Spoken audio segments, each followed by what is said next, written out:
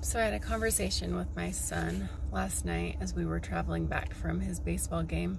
He's a good player and he loves ball, but he struck out both times yesterday and we had a really tough conversation. He cried and cried and he felt really bad about it. And I asked him why and he mentioned that he didn't word it exactly this way, but he talked about how he feels like there's pressure because generally he is such a good player. So making mistakes and not correcting the things that he's been told to correct, he kept expressing how he felt like he was a loser. And of course, this surfaced a lot of stuff inside me going back to when I was in sports and athletics. I felt really bad whenever I made a mistake because I felt like it defined me.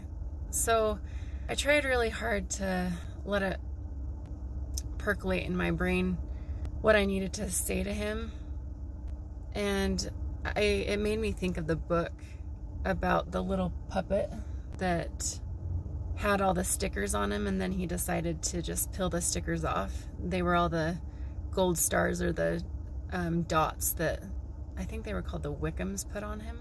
So if he had something cool or if he did something cool or if he was special in any way, he got a gold star, but if he wasn't, he got dots. Anyway, so I decided to talk to him about that and about labels. And it. And it turned into us talking about how some of the most harmful labels that we can slap on our kids are the good ones. Can you say hi? Hi. So if if your kid excels in something and he is known for being the very best at something, then what happens when he has a bad game where he strikes out twice? It just it made him believe in his head last night that his value was less because of that. I'm almost done one sick. And so it's just it's got me thinking about all of the athletes that we have in our community in my community. I'm almost done, Nora. That feel this way, where they right now they have such a good season or such a good game, and that's what they're known for. And the essence of the game diminishes when they are so focused on kind of keeping that stereotype of being the best or that label of being the best, the essence of the game is lost and the love of the game is lost because they're worried about that so much. So it's just kind of got me thinking about those labels that we stick on our kids.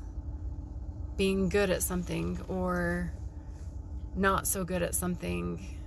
Why don't we just stop sticking these labels all over ourselves and our kids? I think it will help remind us that the things that we are working on and that we're trying to learn how to do are solely for the purpose of our joy and excelling in something for ourselves rather than doing it for the people in the stands, especially our parents sometimes who live vicariously through us, which is common and I think that as parents, we all do it at some point.